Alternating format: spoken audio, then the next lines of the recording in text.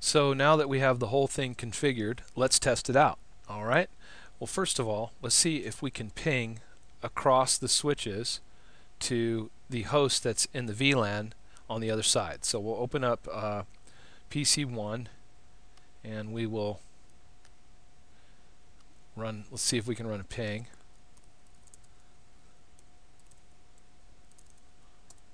Alright, and we can run a ping. So that's pretty cool.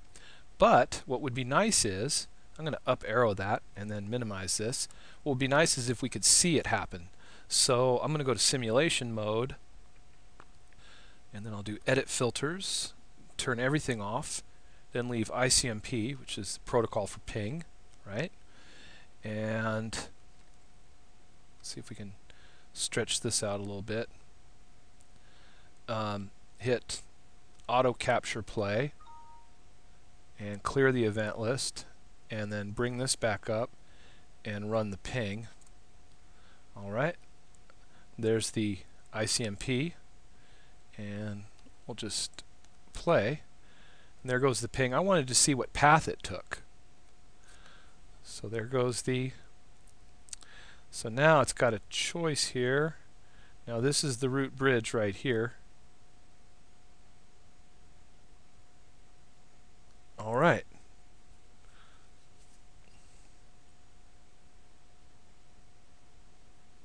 Okay, so there's that ping right there.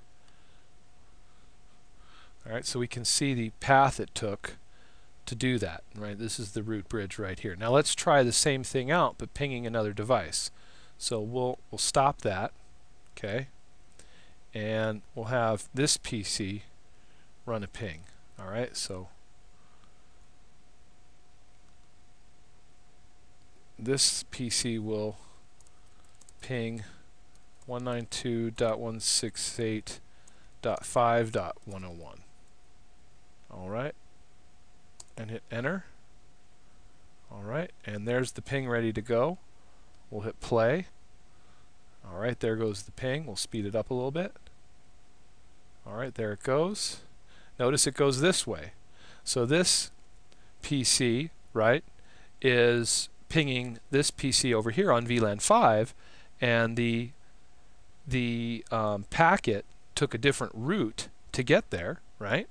Which is pretty much indicative of the fact that we've got two different root bridges here for two different VLANs, which is two different spanning trees. So I'll stop that, go back to real-time mode, slide this over. Okay, let's take a look at this PC. So we're talking about S5, which is the bottom left-hand corner, and enable and show spanning tree. And you can see that this PC sees two instances of spanning tree protocol. It sees one for VLAN 1 and one for VLAN 5, right? Well, it's got the two VLANs, right? And it sees a different root bridge. Let's see here. VLAN 5, root ID, 6AB7, right? And then for for this VLAN 1, the root bridge is DDED, right?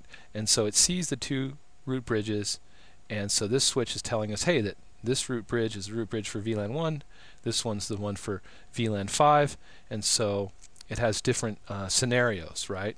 It'd be nice to see which ports are the blocked ports.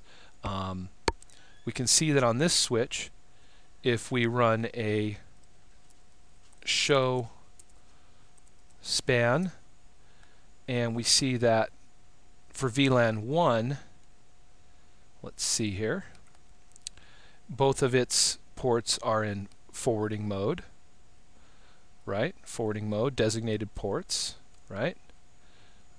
VLAN 5 it's got a for VLAN 5 it's got a port in blocking mode right? Gigabit 1.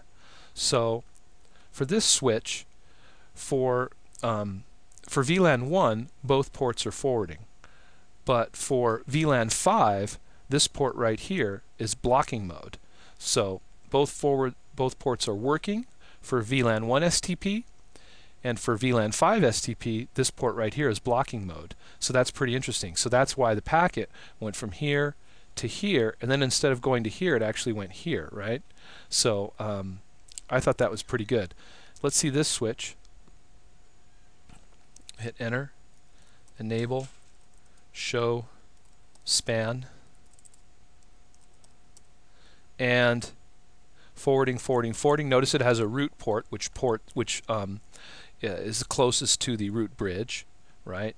And that's for, um, and then these are all forwarding. So uh, no blocking ports on this switch. So this is the blocking port here. And my guess is, is that this port would be blocking for the other um, VLAN. So anyway, I hope that was uh, interesting and, and helpful to talk about uh, PVST plus uh, per VLAN spanning tree plus protocol. Um, the uh, the trunks are running by default 802.1q, which would lead me to believe that this is an implementation of PVST plus that's happening on these switches by default. Just to verify that, let's open up one of these switches really quickly. So this switch has 2 gigabit trunks. What we'll do is we'll say, just to verify, I'll show you that I did a show interface gigabit 1 slash 1 switch port and you can see it's enabled the mode is a trunk and that the trunking encapsulation is .1q which is 802.1q by default so this would indicate that um, that the protocol running would be uh, PVST plus, which runs off the 802.1q protocol and is a Cisco protocol.